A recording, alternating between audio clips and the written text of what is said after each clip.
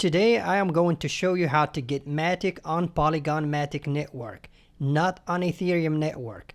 This method saved me thousands of dollars on crazy expensive Ethereum gas fees, so let's get to it. The process is simple.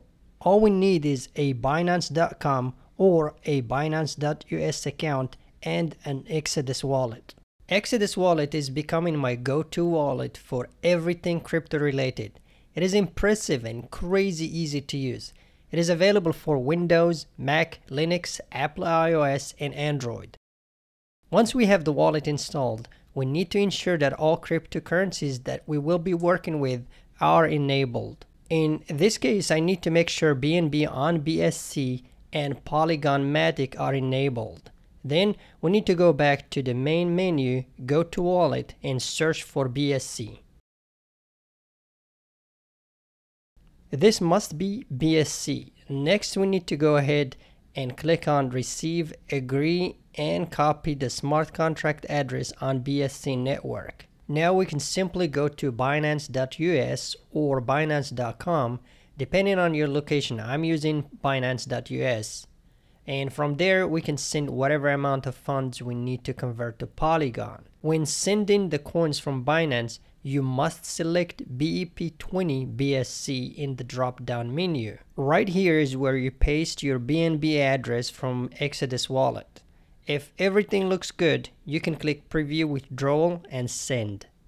The transfer should take less than a minute and you should see the transferred coins from Binance to your Exodus wallet. We can check again to make sure we really have BNB and here it is. Everything looks good. Now let's see if we can convert this 97 US dollar worth of BNB to Matic.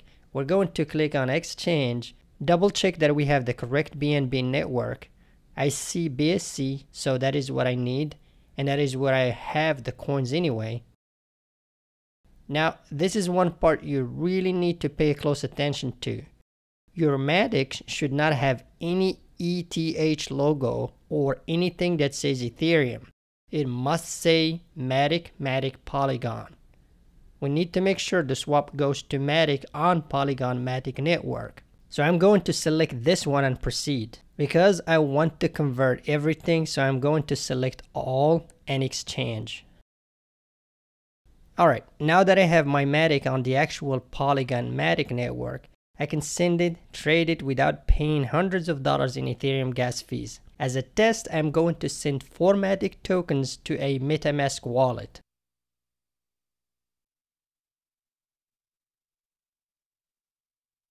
As you can see, the network fees are almost insignificantly cheap and that makes me happy. Now I have one favor to ask. If this video helped you in any way, shape or form, please like, share and subscribe as always, thank you for watching. See you in the next one.